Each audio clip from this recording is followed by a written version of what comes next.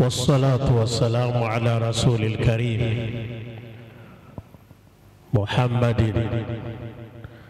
وعلى آله وصحابه أجمعين وبعد.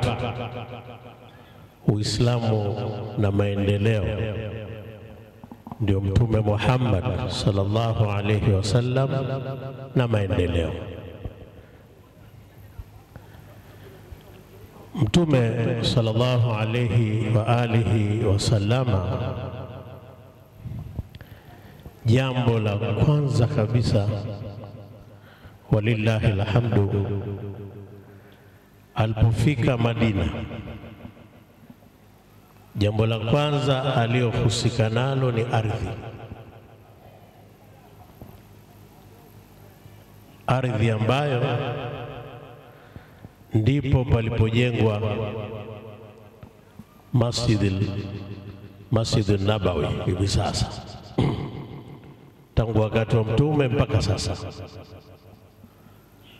Lakini ufahamu kwamba kabla ya hili la ardhi ilikuwa ni kutengeneza al-ukhuwatu al-islamiyya, udugu wa Kiislamu akifahamu kwamba bila nyoyo kuwa pamoja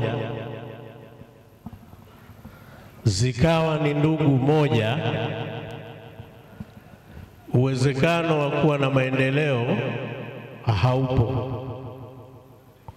Kwa la kwanza alipofika ni hii al-ukhuwatu al-islamia, udugu wa Kiislamu. Unajua kwa nini udugu?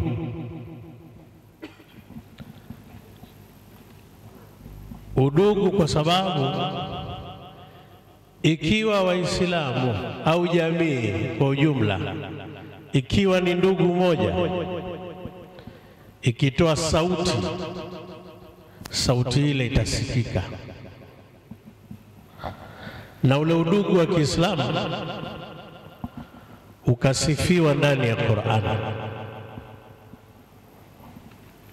Mwenyezi Mungu akauita ni neema kubwa aliyowapa wanadamu, wadhkuru ni'matallahi alaykum.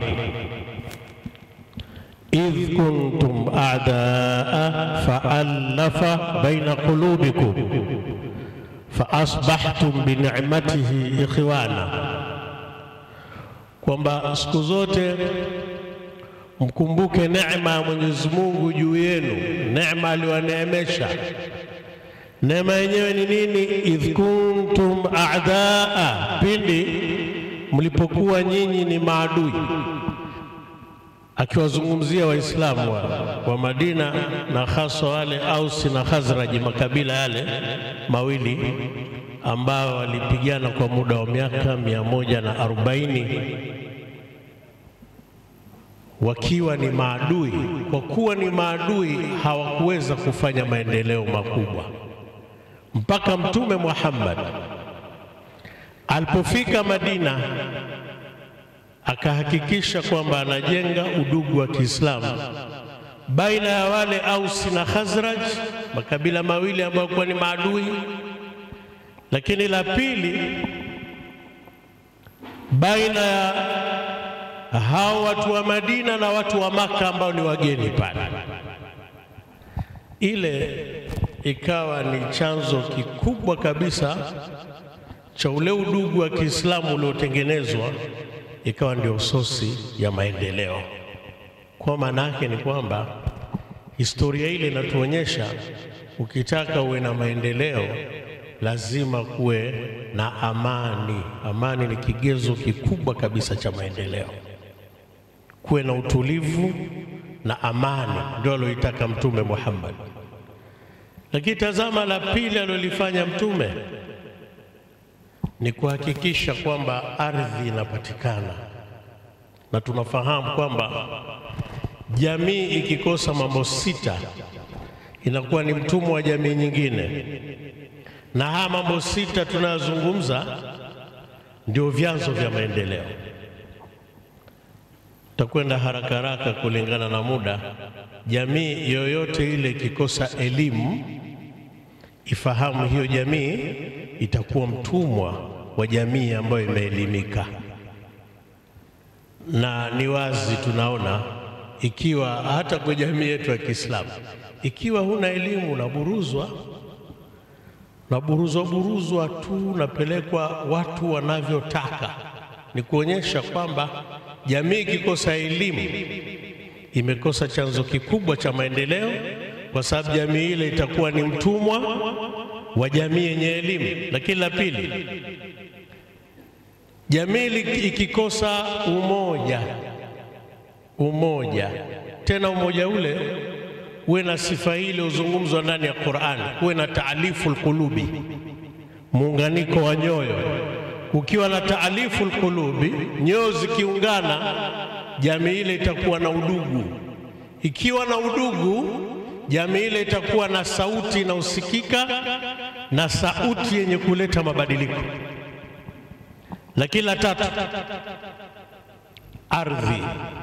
Jamii yoyote ile ikikosa ardhi haiwezi kuwa na maendeleo.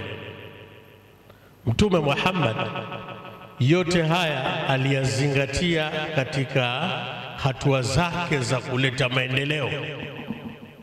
Hata inakumbuka kwamba katika arusi ya Rabiu bin Ka'b, sahaba wa Mtume Muhammad, zawadi aliyoitoa Mtume Muhammad kumpa bwana harusi ilikuwa ni shamba, ni ardhi, shamba lake lililopakana na Saidna Umar bin al-Khattab. Lakini la nne, jamii ikikosa, jamii ikiwa itakosa madaraka, madaraka, jamii inakuwa mtumwa wa jamii ambayo ina madaraka. Na jambo lingine, jamii ikikosa uchumi safi, hiyo jamii itakuwa mtumwa wa jamii nyingine yenye uchumi uliokuwa sawasawa. Vyote hivyo ni vigezo vya maendeleo ambavyo Mtume sallallahu alaihi wasallam alivizingatia. Ndio maana yeye Mtume sallallahu alaihi wasallam katika historia anafahamika kwamba ndiye mtu wa mwanzo wa kitu kinachoitwa international relationship, kitu ambayo ni diplomacy. Hii diplomasia unaosikia mafungamano ya nchi na nchi, Mtume Muhammad aliyafanya akiwa yeye ni mtume sallallahu alaihi wasallam. Misri alimweka mtu ambaye ni amiri almu'minin kama balozi wake katika nchi ya Misri. Yemen alifanya hivyo hivyo, huku Iraki, Siria, popote katika dunia, maeneo mengi katika dunia alifanya hivyo.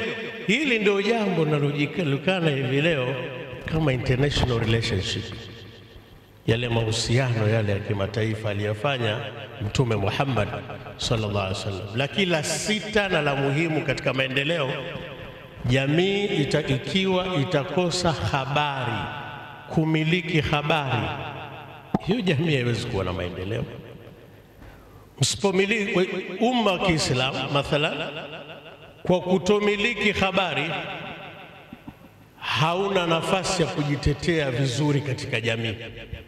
Pale Uislamu ulipohusishwa na ugaidi ni habari tu, habari habari habari, mpaka ikaonekana kama kweli hmm? Lakini yote hayo ni mambo muhimu kwa maendeleo. Nimalize na maneno ya Ibn Ataillah ya Sakandari katika Alhikam yake. Kuna kitu kinachoitwa alhimma.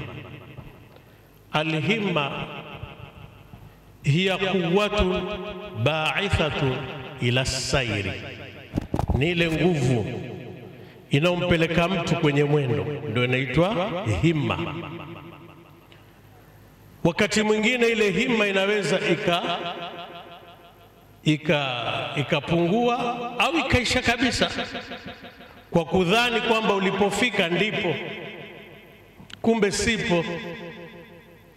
Sasa Ibn Ataillahi ya Sakandari anatufundisha katika suala la maendeleo kwa kutumia neno himma, akasema ma, ma aradat himmatu saliki an taqifa inda ma kushifa laha illa wanadatuhu hawatifu lhaqiqa alladhi tatlubu amamaka, kwamba haikutaka hima ya mwenye kupita. Kupita kwenda wapi? Kupita kwenda kwenye ngazi nyingine, ndio maendeleo yenyewe. Maanake maendeleo ni kutoka hatua uliokuwepo kwenda hatua nyingine.